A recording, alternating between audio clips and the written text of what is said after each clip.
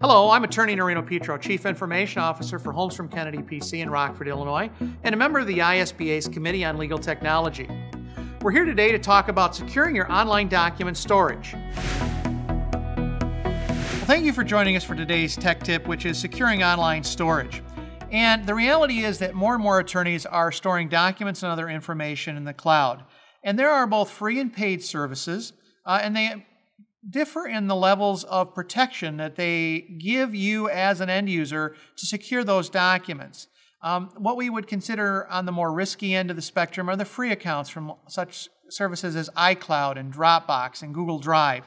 Um, they don't give you a lot of control. They control many of the uh, tools that encrypt and secure your data. And so we generally consider these to be a little bit uh, more on the risky uh, end of things.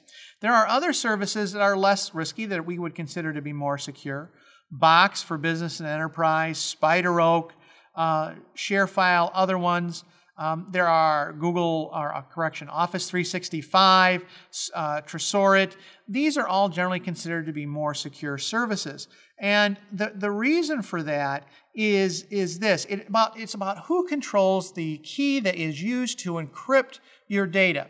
Because if you're really going to put confidential or privileged information out there where others might be able to get to it, or if your uh, data was breached, it could lead to uh, embarrassment or a violation of the rules of professional conduct, you want to take steps to secure that data. And you do that by encrypting that data. And basically, that uses a key that you have uh, or that the storage provider has to encrypt the data so no one else can look at it and read it without having that key to decrypt the data. Um, the big question is who has that key? Is it the end user, being you, or is it the cloud service provider? Well, you say, well, what difference does it make? Well, it's like this: if the end user, if the um, if the cloud provider has the key, it's like saying, I have a key to your office. If they get served with a subpoena or other government order to surrender data, they can decrypt your data. Whether they should be able to do that or not, they have the key.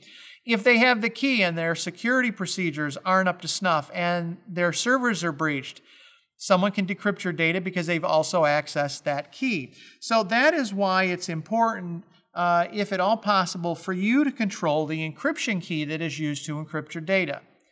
Now, the good news is there are a number of tools that will allow you to do this with the free services, such as um, Dropbox, Google Drive, and, and others. Um, some of those tools include Sookasa and, and Viivo, CloudFogger, Boxcryptor. There's a number of these services. Sookasa and Viivo are paid services. They have a higher level of protection, some argue. Um, they do offer a seamless user uh, experience. They do say, at least in Sookasa's instance, that not only are they HIPAA compliant, but they're FERPA compliant. So they're saying they comply with the federal laws regarding uh, security and data.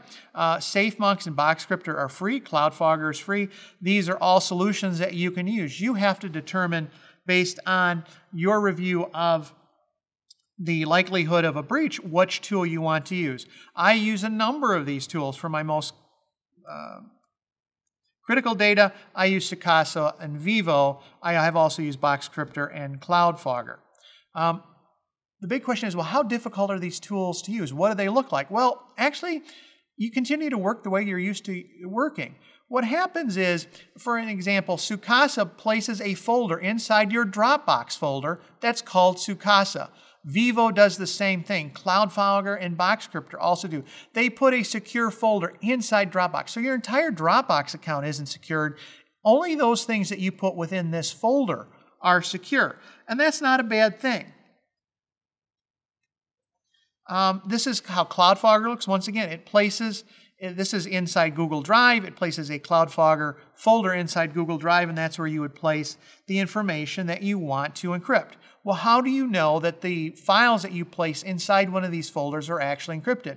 Well, both of these products add a file extension to the file. In this case, um, CloudFogger shows it as a .cfog file. This says that this file is a CloudFogger file. It's been encrypted. Without that key, you're not going to be able to access it. If you try to open this file, a CloudFogger file, this is what you get. You get a message that it's been encrypted with CloudFogger and everything else is gibberish. You can't, you can't see any of the data. Um, you have to be able to provide when you log in to your account your email or ID and the password that you've created. Okay? This is what that file actually looks like, but what we can see from trying to open it without providing the key to decrypt the file, this is what we see. So once you provide the key, you see the entire contents of the file itself. Uh, these services are relatively easy to use. They work not only on your iPad and on your computer in these storage accounts, they also work on your mobile device, such as your iPhone and Android tablet, even some Windows uh, smart devices like the Windows 8 phones. So if you're going to put information out uh, in the cloud and you're not using a service that allows you to natively provide the encryption key, then I really think you need to be looking at one of these either free or paid encryption tools that work with Dropbox, Google Drive, or other services. Thanks for watching. You've been a terrific audience. And always, if you have questions, go to isba.org and search on Ask Colt to find the Ask Colt option.